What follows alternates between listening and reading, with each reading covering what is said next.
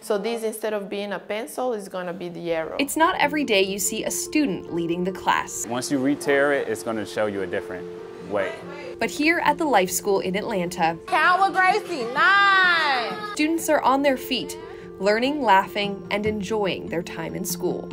We've passed the age of just sort of factory cookie cutter preparation of our children. Michaela Streeter and Cabral Muhammad started the Life School to keep students from experiencing education the way they did. My classmates were much more confident and comfortable launching into these really complicated problems.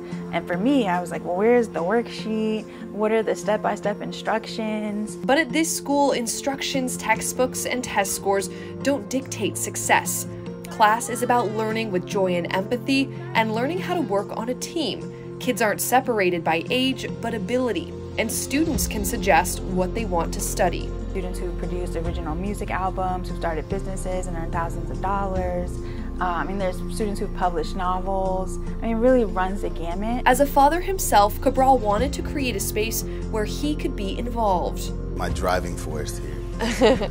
My son, uh, he's six. Um, and actually, I guess what this space has meant for me and for a lot of uh, like-minded parents um, was just having access to our children uh, in a way that a normal school setting, it, it usually they do a lot of work to separate children from their parents. He says this space gives his son the freedom to learn social and emotional skills he'll need his entire life. Hi.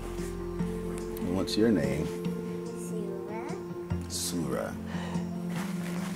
So this is Surah. And studies show this setting works. Middle schoolers studying science in a project based setting in California tested 11 percentage points better than their peers in traditional lecture style classes.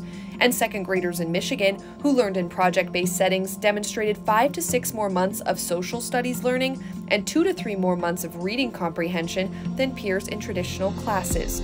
Students are also less likely to drop out of these schools and more likely to attend college. It's a model Michaela says can help all students. You think, oh, well, smart kids or good kids can learn by listening. It's really those other kids that need to run around or something, but that's not the case. If you take a kid that is being successful in a traditional environment and put them in a, an environment that's more project based, more hands on, and flexible, they will flourish even more. Of course, these small schools cost money to open and run, but that's why Michaela and Cabral hope the example they're setting will get the attention of community leaders and lawmakers to extend more grants and state and federal money to schools like theirs. Because those actions today could be the foundation for the generation of tomorrow to flourish. When you think about the people who are most successful in life, they're people who can think flexibly, who can think in an agile way. We want our students to embrace the nuance, embrace spaces for creativity, and take that into the real world, have that capacity because that's really what leads to success.